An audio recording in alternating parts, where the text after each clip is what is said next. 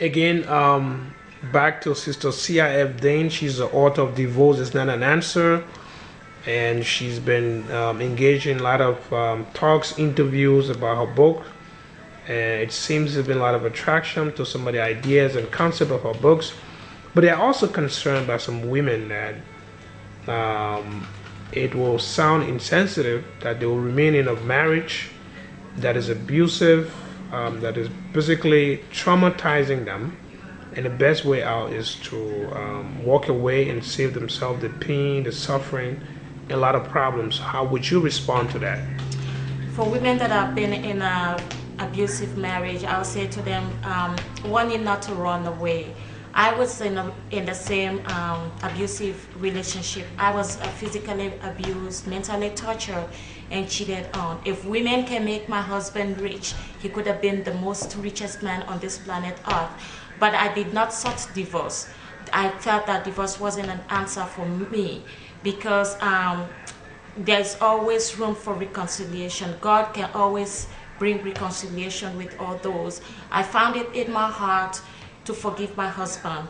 And then also I needed my husband and found it, I try to find out that I need to be patient. People that are in abusive marriage don't need to run away. They need to know the temperament of their partners because there were four types of temperament that I measured in my book.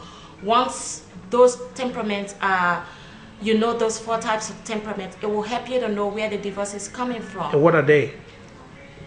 The four types of uh, four uh, temperaments are the, the phlegmatic, the uh, sanguine, the uh, melancholic, and the choleric. Those you need to know. Uh, it's all in the book. Once you know those, those are like fluid that run through human body. Some have the yellow bile mucus, some just have one blood, and some just have the, uh, the uh, dark blood. So once you understand what those types of blood, the fluids that run in the body, then you'll be able to know the temperaments of the, your partner.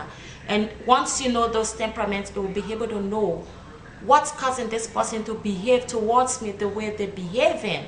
And once you know that and understand that, then you know how to approach that person. If the person is angry, you know that you have to stay away from him because if you don't, then that person is going to be abusive towards you. So we need to really, we really need to pay attention to those kind of things before we even get married. That's one of the major things that causing abuse in a marriage. Thank you so much.